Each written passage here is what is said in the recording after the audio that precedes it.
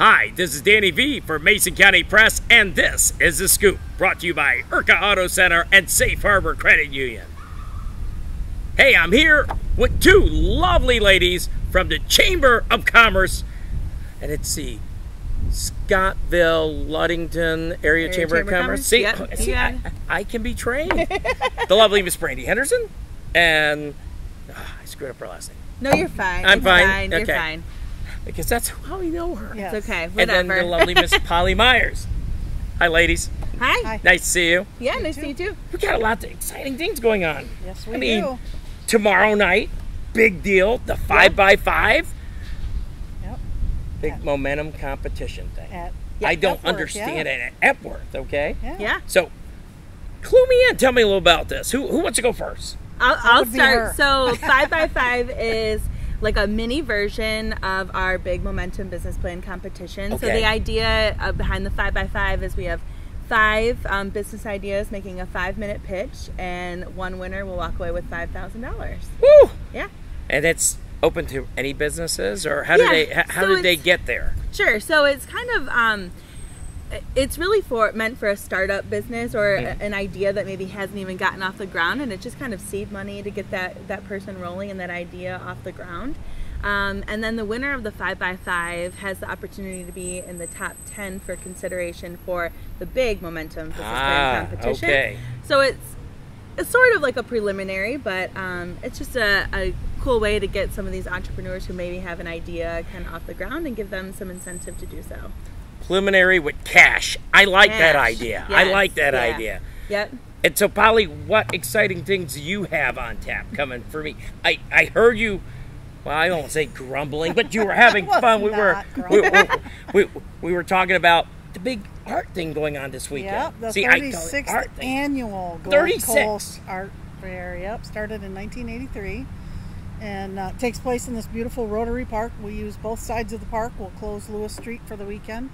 Uh, Saturday 10 to 5, Sunday 10 to 4. There's about 160-ish crafters that take up about 190 or so spaces in the park. 160?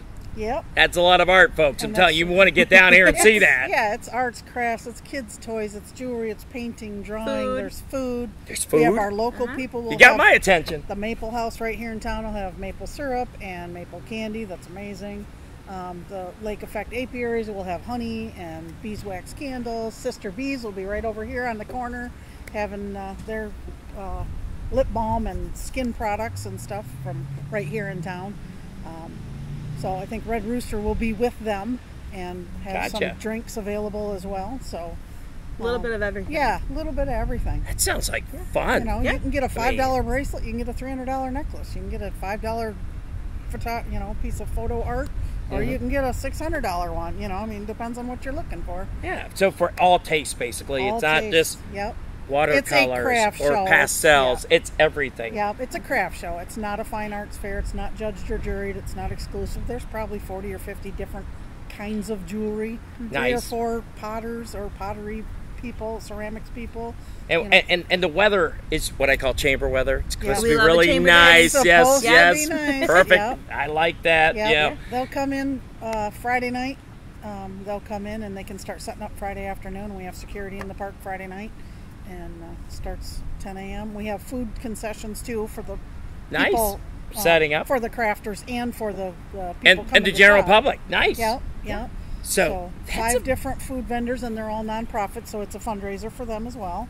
So Gotcha. the Optimist will be here, the Rotary will be here, Crave will be here with DDA, uh, the Road Crew Galley will be here with Cove, and D&M Concessions will be here for the Old Engine Club. So there's a whole lot little of of things. that- food, there's you know, food, everything going on Yeah, here. yeah. Plus a whole lot of things to look at. Whole lot of 100 things to look at. 160 different booths. That's that's pretty. You'll Yeah. take the day. Yeah. And it's Yeah, gonna be yeah. a perfect day, and something we do here in Ludington. I hopefully love it, it. won't be too perfect, so you're not at the beach. Come here first, then go Then to the go. beach. That's right.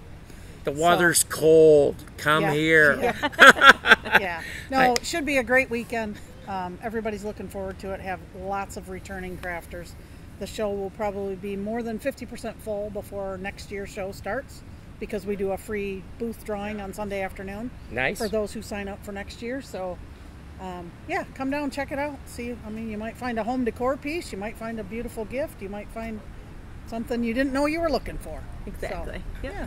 Exactly. And if you see me looking off camera, I'm the big mouth. I always look at the microphone because I've done that my entire life. And I'm in again for Kate Krieger. She has some personal things she's taking care of. So, hey, but they gave me fun stuff to talk about. so, head on out. Now, the 5x5 is being held where?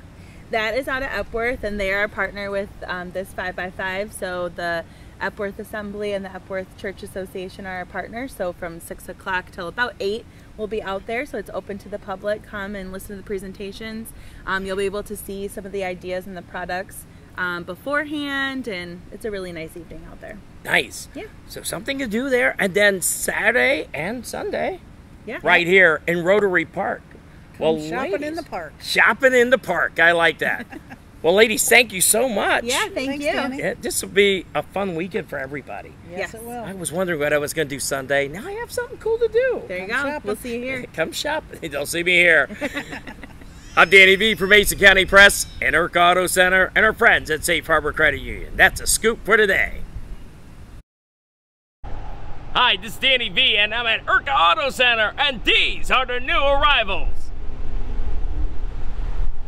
Here's a rare find 2013 Ford F 150, regular cab, short box, 4x4, AC, and only 73,000 miles. Come on down! 2016 Jeep Compass High Altitude, leather, moonroof, nav. Nav is short for navigation. You know, GPS built in. 4x4, one owner, no accidents. Come and see this one at Irka Auto Center. Wow, 2018 GMC Yukon XLSL. What the heck does that mean? I'm just, I just want to know. Extra large, small, I'm not sure. Super clean, 20 inch wheels, brand new tires, eight passengers, 4x4, only one owner, no accidents. It's a hard find, I hear. Come on, check it out right here at our friends at Irka Auto Center.